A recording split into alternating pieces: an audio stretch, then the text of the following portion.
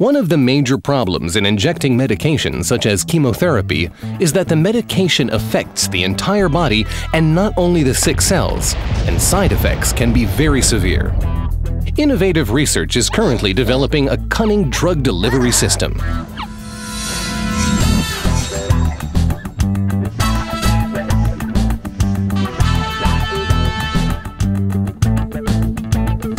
Ben Gurion University scientists, led by Professor Yossi Kost, are developing a system to sneak medication like chemo or genes past the body's defense mechanisms and straight to their destination, even a cell organelle like the nucleus inside a cancer cell.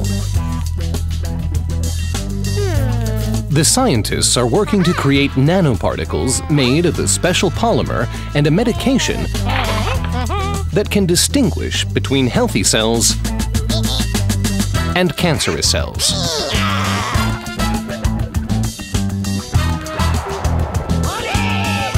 The nanoparticles are small enough to pass through tiny holes existing only in blood vessels surrounding cancerous growths. When the nanoparticles identify a sick cell, by its external receptors for example, they attach to the cell. But not all of the particles are able to penetrate the cell membrane.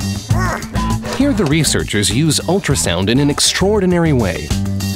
They focus low-frequency ultrasound waves on the target spot to make a tiny and temporary opening that enables the particles to penetrate. Next, the particles need to get to the nucleus in order to release the medication.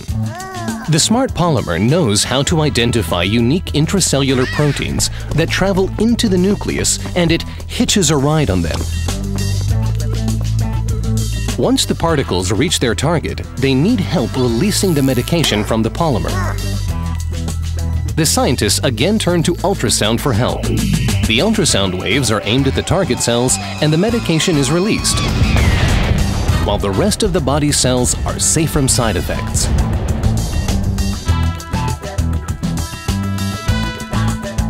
The research combines the use of ultrasound, nanoparticles that identify sick cells, and smart guidance to the target point. All in an effort to provide effective healing without harmful side effects.